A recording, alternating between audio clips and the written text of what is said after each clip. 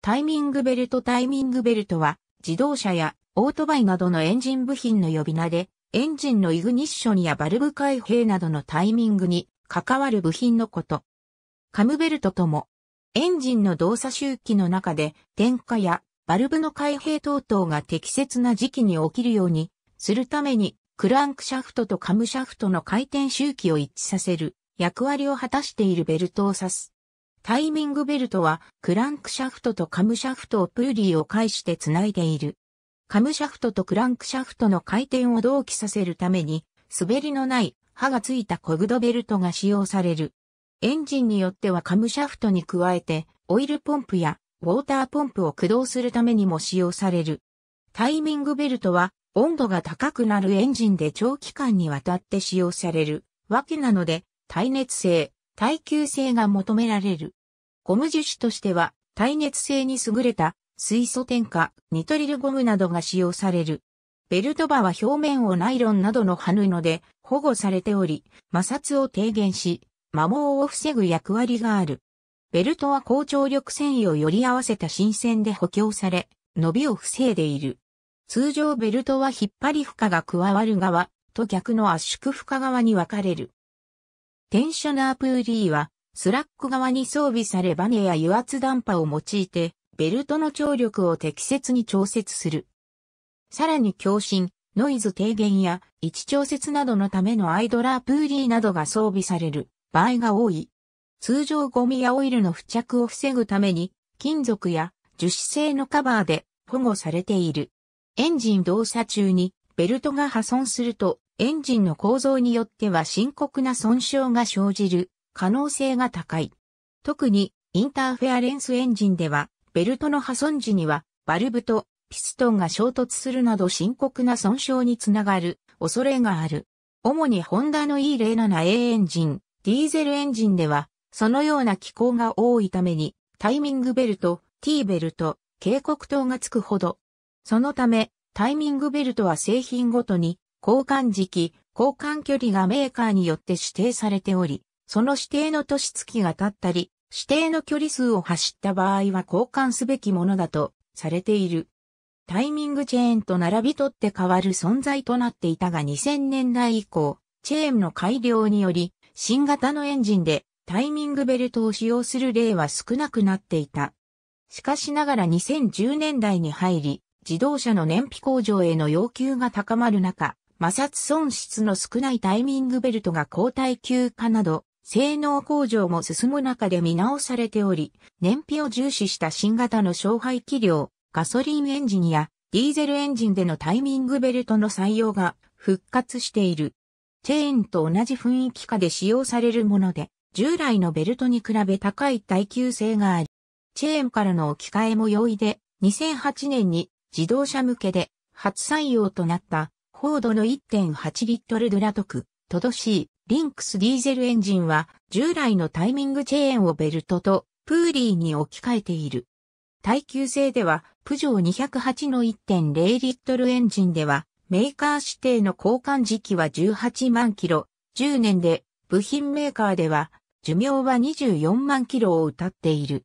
自動車以外では1990年代以降より、ホンダ製のファム用小型4ストロークサイチェシー、ガソリンエンジンを採用した発電機やごく一部の仮払い機などで油中式タイミングベルトが使用されている。また、日本メーカーの場合では2010年代以降に開発されたホンダの P10 アンペア型直列3、気筒 DOHC12 バルブガソリンターボエンジンに油中式タイミングベルトが採用されている。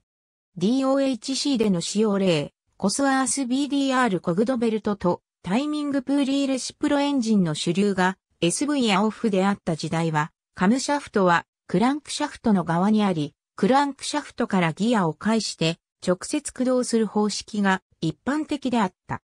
その後、バルブ追従性を改善する目的で、カムシャフトの位置をシリンダーヘッドに近づけ、プッシュロットを短くしたハイマウントカムシャフトが実用化された。その際、カムシャフトの駆動に、それまで一部のレーシングカーやスポーツカーの DOHC に使用が限られていたローラーチェーンが用いられるようになる。これにより、クランクシャフトから離れた場所に導弁系を配置することが容易となった。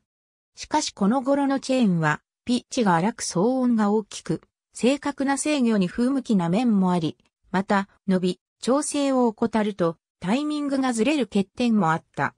自動車向けコグドベルトは、米国ユニロイヤルのリチャード・ケースが、1945年に開発した。しかし、1950年代までのオフエンジンが主流の市場では普及する機会はなかった。量産車に導入されたのははるかに下り、1962年にドイツのグラース社が発売した小型乗用車、グラース 1004S の直列4気筒 1000cc、サイチェ C エンジンであった。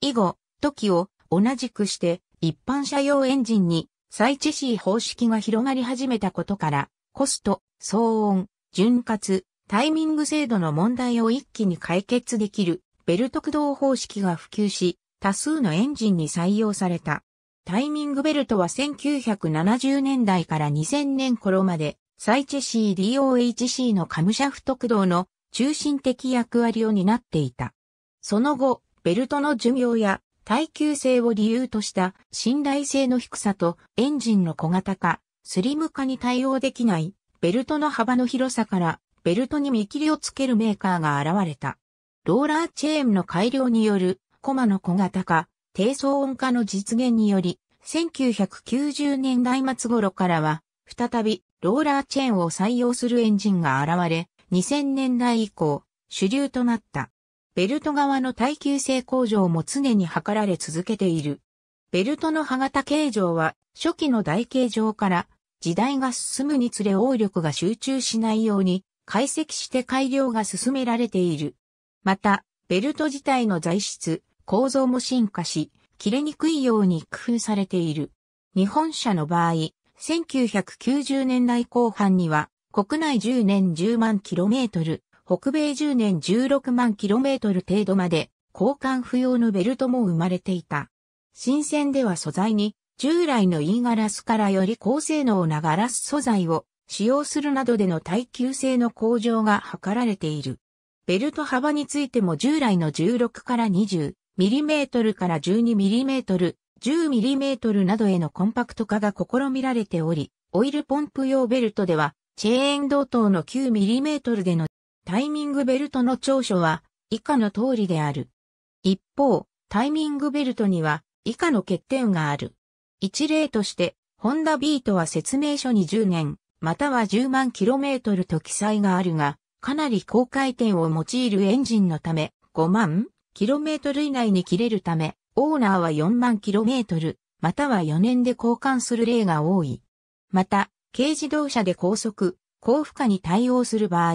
小排気量ゆえに高回転域を多用する機会が増え、なおかつベルト自体も細いため、ユーザーやメカニックの判断で、指定の期間、距離より早めに交換する例も数少なくない。これらのメリット、デメリットがあるが、最近ではピッチが小さく静粛性の高いサイレントチェーンが開発され、すでに広く実用化されているために、絶対的な耐久性に不安のあるタイミングベルトを用いることは少なくなってきている。タイミングベルトは一般にはエンジン側面のカバーに覆われており、目視による日常点検ができない。エンジンに高度なチューニングを施した場合、高い負荷のかかるタイミングベルトの管理には非常な厳格さが要求されるため、エンジンカバーを取り外して、剥き出しにしているケースも見受けられる。しかし、一般的な自動車の場合、そこまで厳格にメンテナンスする必要は